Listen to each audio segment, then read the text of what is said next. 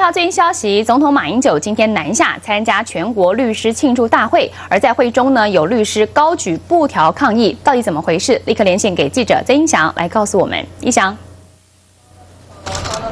好的，主播观众，总统马英九今天是特地南下来参加全国律师节的庆祝大会哦。不过呢，稍早总统就在台上进行演说的时候，台下是有部分的律师是高举布条要来抗议。带你来看看当时现场的状况。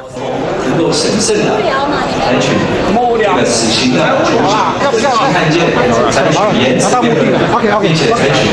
一致可以看到是有部分的律师是高举布条要来进行。抗议哦，其中是有人举起了图利财团、剥削平民等等的抗议布条。不过呢，这些律师在现场，他们并没有喊出任何的口号。但他们突如其来的这个举动，保全和现场的国安人员是相当紧张，赶紧上前来制止。也在当时台下是引起了一阵骚动。不过呢，即使这些律师是正对着总统来高举布条，不过台上在进行演讲的马总统，他并没有受到太大大的影响。反倒说，对于最近引起话题的女童遭性侵案，不过法官却轻判的案件，总统在这边是发表了最新的说法。法务能做这个问题交换意见，他们也决定就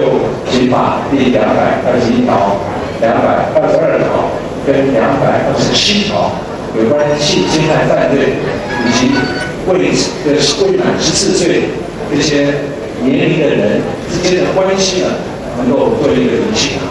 本来本来有些人认为不应要修法，但也有人认为为了避免